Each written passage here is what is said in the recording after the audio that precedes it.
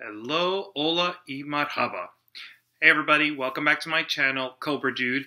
Uh, today we're going to be doing a really cool model. It's the Thorn Guard Captain here in the Baratheon Attachments box set. Uh, I believe I only have one more left in this Attempting to Paint series for just the Baratheon box set. I'm really excited for this and by the time I believe that this video comes out, it's actually going to be Christmas. So I'm wishing you a Merry Christmas. If you celebrate, Happy Holidays, and thank you for watching. Remember to like, share, and subscribe. And also follow me on Instagram at Cobra's Finest with a Z.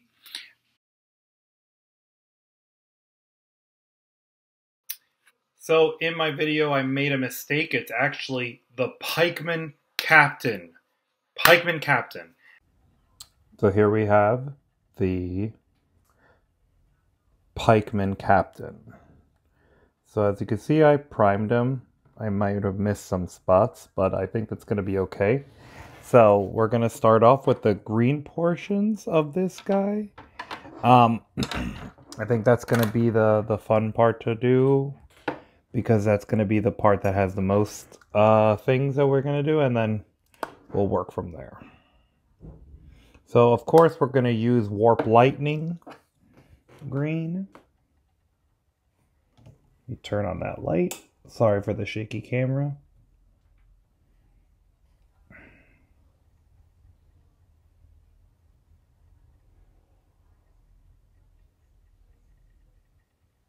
And again, these, I can't speak highly enough of how cool these models are. Um, I, again, as I said for the Sentinel, uh, for whatever this thing called, the Thorn Guard Sentinel, these, I, I think that these gonna, these are going to be, um, auto includes in any Renly faction. Uh, this one in particular, this one as I said, has Dauntless, which uh, allows them. Let me just make sure. Yeah, each time this unit passes a morale test, it may restore up to one wound. And again, I mean, this for the you know the the the Rose Knights is gonna just just wreck face. I can see them also be in an, in a unit of Sentinels or Wardens. It doesn't necessarily need to be in in Rose Knights, but I feel that the Rose Knights are going to be the ones that take the absolute, are going to be the absolute best with them because of their uh their already inherent mechanic of just replenishing wounds after they yeah i don't remember how that goes. I, I but you know that healing factor is just you know again you know as i've said before uh, the Renly faction, in many ways, is a much, much more forgiving faction than, say, the Stannis faction because of the fact that they have these healing mechanics that, you know, you can, you know, mess up on a on a on a on a charge or have like subpar dice rolls and still come out on top as opposed to like Stannis, where sometimes the the the red god is not with you, and all of a sudden you're you're you're not in doing you're not doing so hot. You know, even with things like Mel that can like really do some some damage on people. You know, I've seen you know bat reps where Mel doesn't do anything. And so you're basically just taking out all these wounds on yourself and then for the for the supposed payoff not to happen is kind of you know alarming and you know one of the things i love about this model is like it's got so many plumes it's so delicate it's so you know as opposed i mean you know one of the things i always give CMON for or you know whoever makes these models um i i really have to give them the fact that they're always having the models take the character of like the faction that they belong to, right? So you have Rose Knights, for example, and because they're from Highgarden, they have like these like, you know, super ornate armor and just really just chatting it up, you know what I mean? Just just looking absolutely amazing. You know, as opposed to like, you know, the Stannis units which are, you know, very low frills or, you know, as a, the R'hllor faithful, they look badass, but you know, um, they're a bunch of religious zealots, so they don't really care about like what they look like. So they look like a bunch of, you know, uh, you know, someone that you would see in the street corner screaming that the end is nigh. So I mean, I think that that's a pretty cool, you know, example of like, you know, a, a game that really knows its the the property that it's using and really just crafting a world in that in that way. Again in, in my opinion you know you might you might really like how the uh how our R'hllor, the R'hllor faithful look and you know might be offended by how i'm talking about it. So here you go. See? And so the cool thing about this green is that even though it's a pretty bright we're going to be able to dull it down a little bit when uh when we put the wash over it. Now we're going to go and get Leadbelcher. Give that a little shaky shake. And we're going to, in the immortal words of Duncan Rhodes, thin our paints.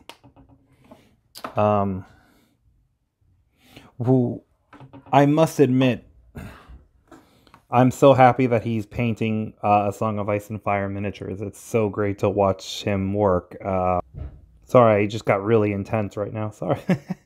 So anyway, so yeah, I, I mean, again, like I said before, these just models are just so intricate that if you are a non-barbarian like myself that's just trying to get these things painted and on the board, you could really just go insane with them and just really just show what you're capable of. And you know, again, like this is one of those models uh, you know, again, a Highgarden model or a, you know, Renly model that really just accentuates like how cool, you know, and how, you know, just kind of shows like their na- naivete of battle. you know, like I, you know, if you remember that scene where Catelyn um, is meeting with Renly, um, you know, spoiler alert, I guess. Uh, um you know she calls the the the the warriors of Highgarden and all that stuff that we're having like a mini tourney you know that they're that they're that they're warriors of summer you know? And i think this just encapsulates that like this like you know these frilly kind of warriors gowns or warrior outfits and yet you know they just put a lot of damage on the table you know? And i think that's something that See, so we're almost done here. Just gotta put, we're gonna do the helmet. Let me get some more Leadbelcher. You know, and true to form, like I said in my, when my, when I did the video for the Thorn Guard, you know, I, I, I figured I was going to end up loving painting these guys. And sure enough, man, these guys were actually a lot of fun to paint. And I'm really enjoying it. So now we're painting the the helmet, the helm. Um, inside, I'm just gonna paint the inside. Um, once uh this this the Leadbelcher dries, I'm going to put um Black Templar black, and we're going to just make that look more deeper because it's already it's filled in already, and I just you know just easier that way. And then I don't know if you can see, but Homeboy's got a scarf on. You know, everyone knows that you need to have your tactical scarf before you go to battle. Um, gotta love Highgarden. But, you know, I, I remember when I was in the military, I never left anywhere without my scarf. So, you know, hey, you got to make sure that scarf is there. Um, or is that an ascot? Hmm. Well, I guess we'll never know. Um, so we're just gonna paint green on the bottom here just to, for conformity's sake. And thankfully, uh, this model is actually, these are gloves. He's wearing gloves. So when we do the brown, the leather, we're going to put them all over. and before we do that. I think for these this guys we're gonna do um we're actually gonna do wild wildwood wildwood on everything now for the rest of uh for the rest of this stuff uh the the leather and his boots because of the fact that I don't want to use uh I was gonna use Le- uh Guilliman's flesh, but I feel like because of the face, I I don't want to because the face is so pronounced. I don't want to have his face look like leather, and so we're gonna just use a darker a darker brown for the leather. And this belt over here, we're gonna do we're gonna do wildwood brown because it's just such a dark brown that we it gives it just a good um contrast perfect make sure i get that because don't want to be you know confusing tactical footwear with his tactical scarf. So.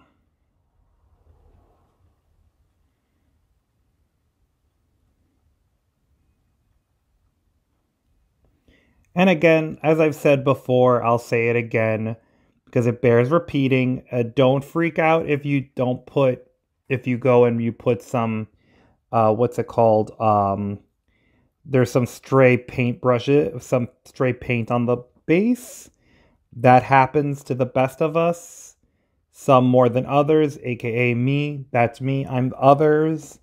You know, um, that's why I, I started basing my models because I got embarrassed with the uh, with the the stray paint marks, and I found that that is a, a very efficient way to to to to make your models look awesome, but also fix a mistake that you might not be too proud of. See?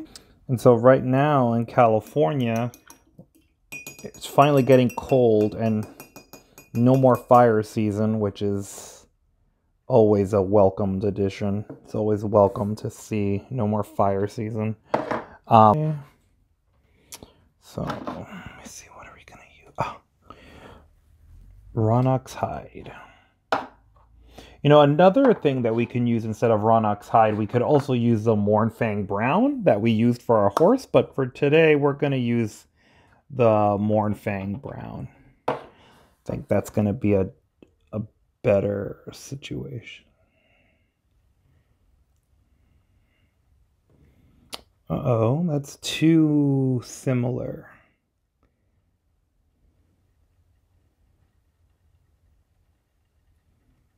Hmm.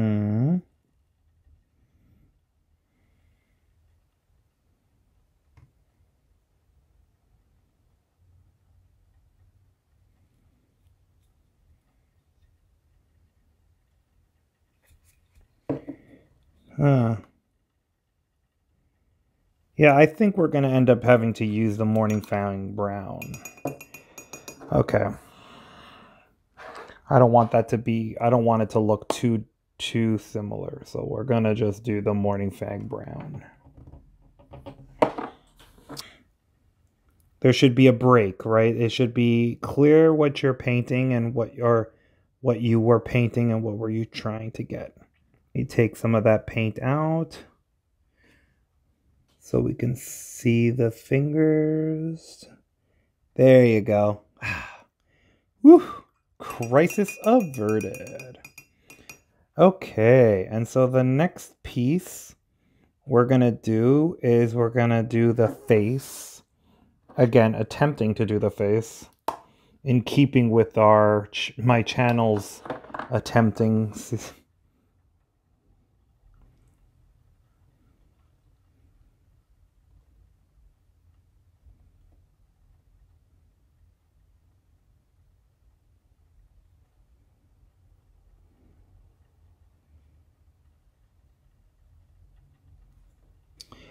Yeah, this is a very, uh, faces are usually a very particularly awful thing for me. you know, that's one of the reasons why I love Space Marines back when I played 40k because, oh man, was it so much easier to paint. it was just great. Now I'm looking for my Black Templar Black because he's got nice black hair, a man of my own heart. I do love it.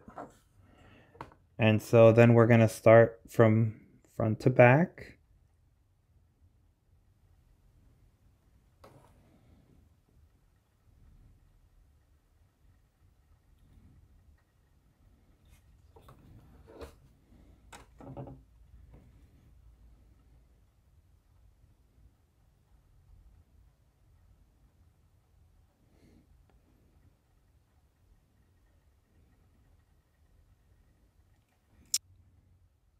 I'm debating giving him a little bit of a salt and pepper kind of look, but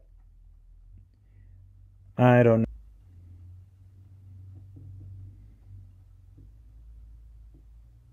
Perfect. Ha! All right. I'll take it. And then we got to just put Black Templar inside the helmet.